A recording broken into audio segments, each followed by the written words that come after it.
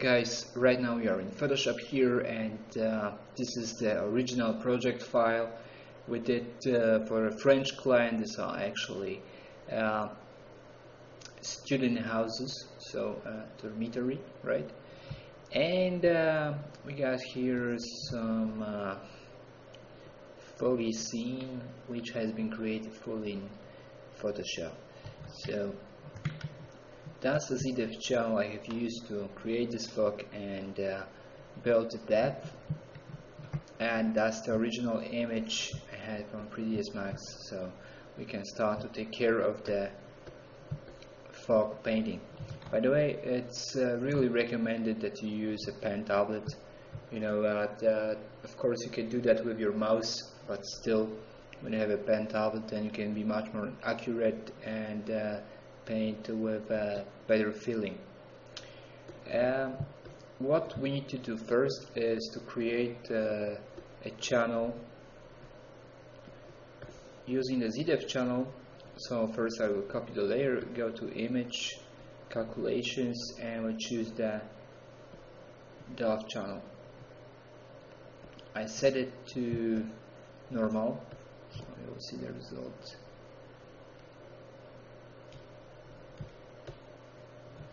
Between normal and multiply.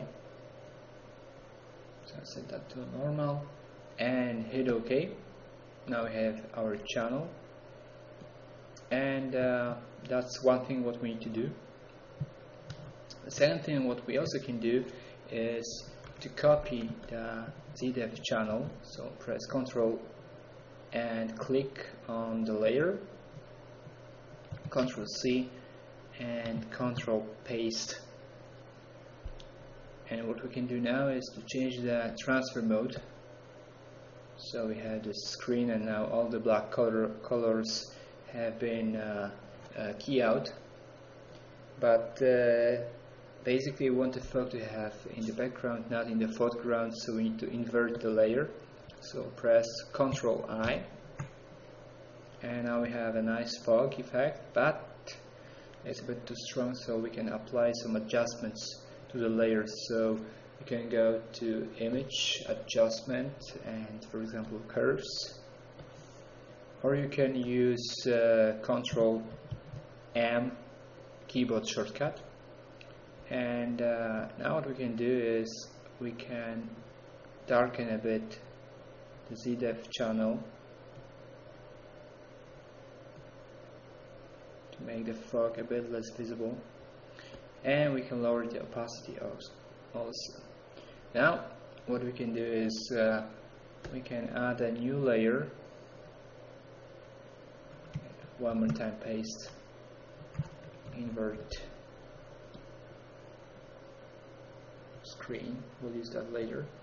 And uh, now we'll start to paint on this layer. So I will choose a black color. Uh, choose the brush pressing B on keyboard or right here from the menu. And uh, I have here some brushes. I should have. I will load them in a few seconds. Uh, that are simulating some uh, kind of smoky shapes. But first I will choose a soft brush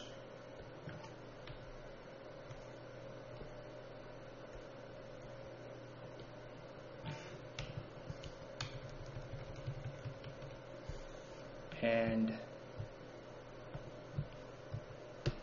maybe I'll just start to paint with the sky.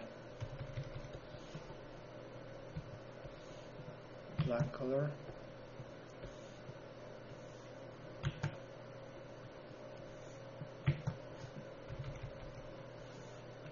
So lower a bit the fog effect.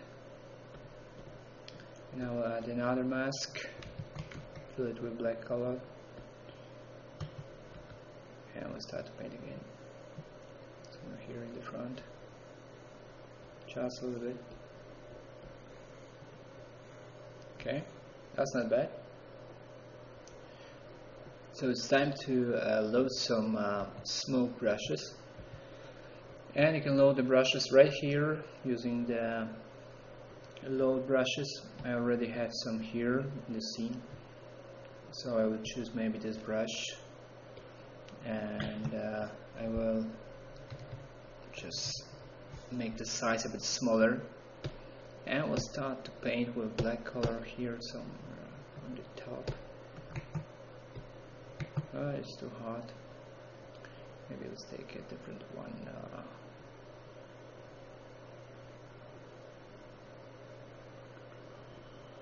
maybe this one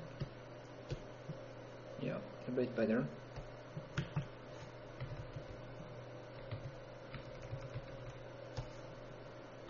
uh, here.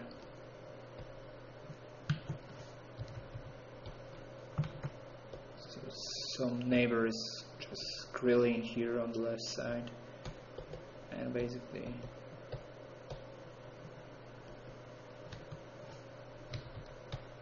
got the idea of the whole process so we are almost done. It's pretty easy and uh, also gives a lot of fun to, to paint with. Of course uh, probably on the original file I have spent like uh, one hour to, to tweak the uh, the foggy effect and uh, find the final result but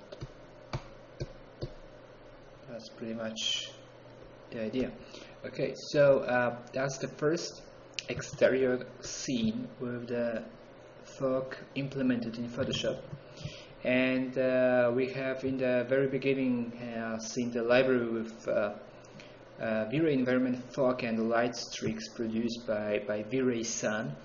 And right now I would like to open the next Photoshop project and recreate this effect using basic tools in Photoshop. So stay tuned and I see you in the next section.